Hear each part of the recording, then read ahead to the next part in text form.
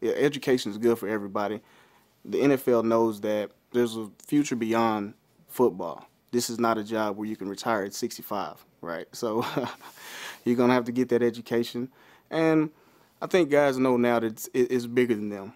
Just like in my situation, I was one of those guys that was only on the field for two or three months, got released, and now I'm in the real world. What, what, what are you gonna do now? You know, putting all your eggs in one basket is not always a good thing. You have to have some. You have to have a plan B. I think it's just a, a requirement now, just to get your foot in the door. Getting that education is definitely a good plan B to set you up for the rest of your life.